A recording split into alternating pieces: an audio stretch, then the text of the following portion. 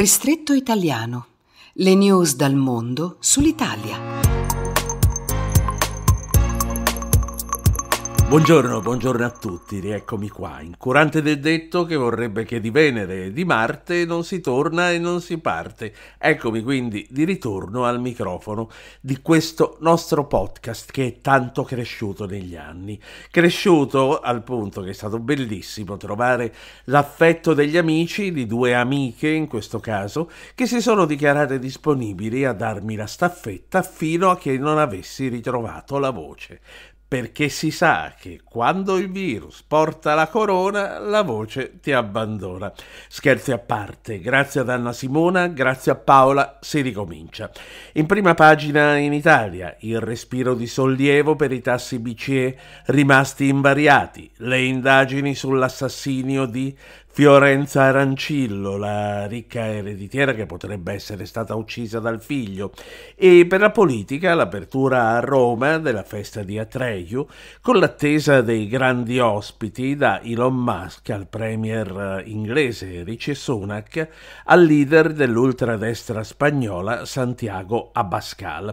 Una manifestazione, la prima da forza di governo dopo un anno dall'insediamento, sulla quale però piove una tegola regola politica non da poco, come lo stop impresso al progetto albanese di esternalizzazione dei richiedenti asilo, argomento col quale passiamo al ristretto italiano vero e proprio. Comincio quindi con BBC che titola La Corte sospende il piano italiano di trattenere i migranti in Albania. La Corte e la Corte Costituzionale di Tirana che sospetta una violazione della Costituzione riguardo l'accordo di costruire due centri nel nord dell'Albania per trattenere 36.000 persone tra coloro che sperano di entrare in Europa attraverso l'Italia ogni anno. I centri sarebbero pagati pagati dal governo italiano e soggetti alla legge italiana, come Guantanamo per gli USA, se ricordate, e fuori a garantire la sicurezza la polizia albanese.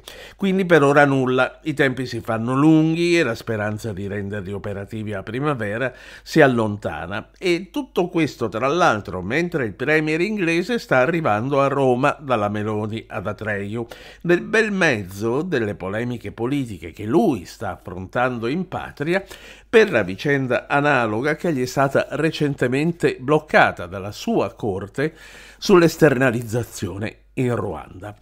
Anche Euractiv dedica un servizio alla vicenda sotto il titolo L'Albania sospende l'accordo migratorio con l'Italia.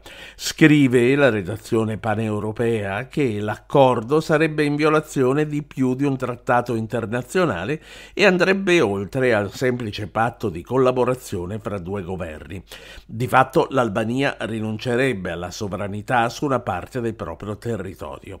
La ratifica, precisa Euractiv, è sospesa fino al 6 di marzo. In Italia chi inizia a lavorare adesso andrà in pensione a 71 anni, dati Ocse.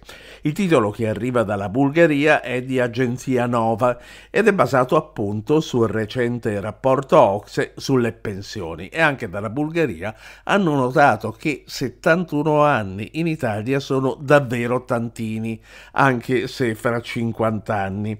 Ricordando che a partire dallo scorso gennaio di quest'anno, del 2023, 23, l'età legale per andare in pensione in Italia è di 67 anni, questo per effetto delle misure di Roma adottate durante la pesantissima crisi del 2011 L'articolo precisa che tuttavia diverse categorie di lavoratori sono ancora in grado di accedere al pensionamento anticipato.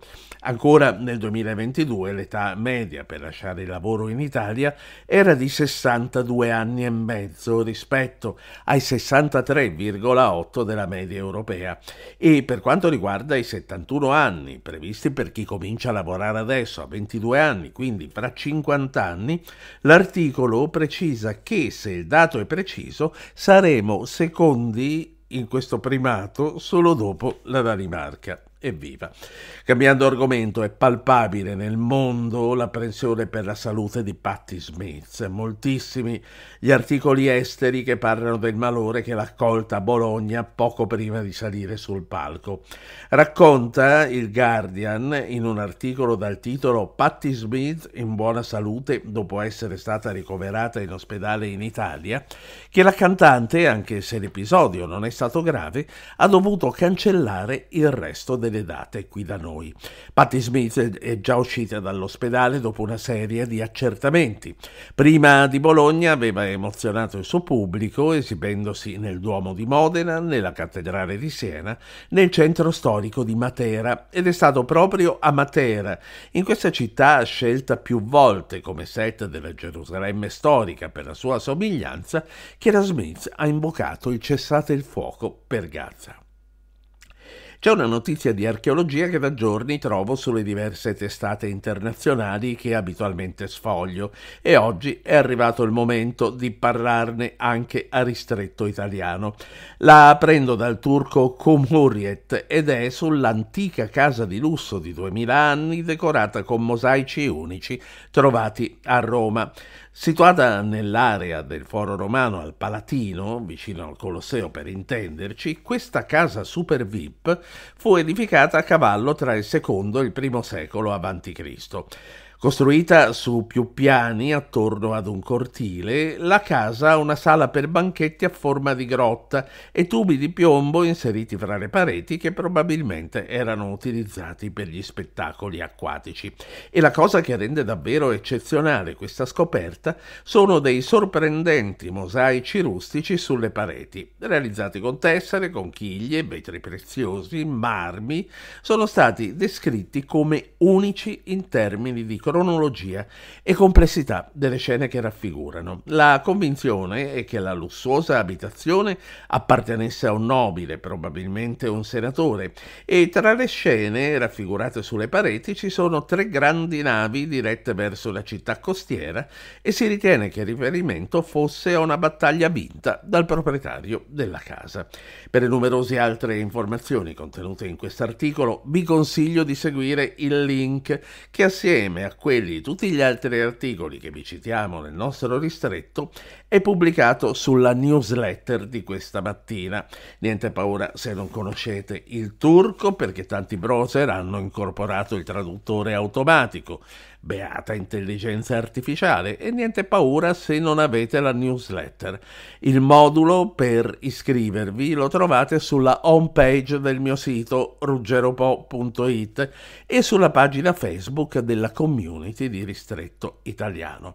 E poi, se siete così poco avvezzi, mandateci una mail a ristretto.italiano chiocciola ruggeropo tutto attaccato.it dicendo che desiderate ricevere la newsletter e noi ve la manderemo.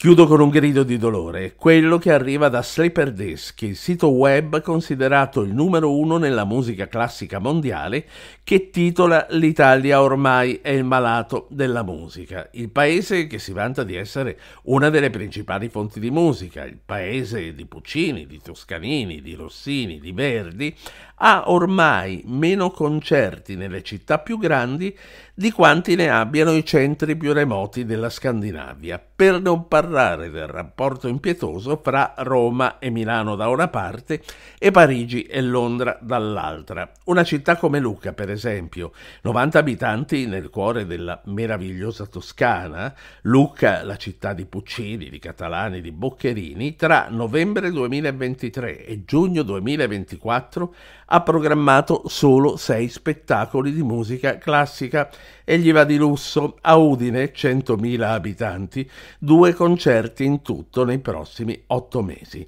E il problema, conclude la denuncia di Sleeped Disc, è un'altra faccia del fallimento del sistema educativo l'hanno capito pure all'estero di come siamo messi sul sistema educativo in Italia.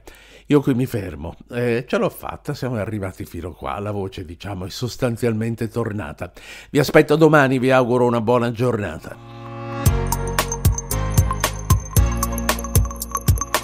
Ristretto italiano di Ruggero Po.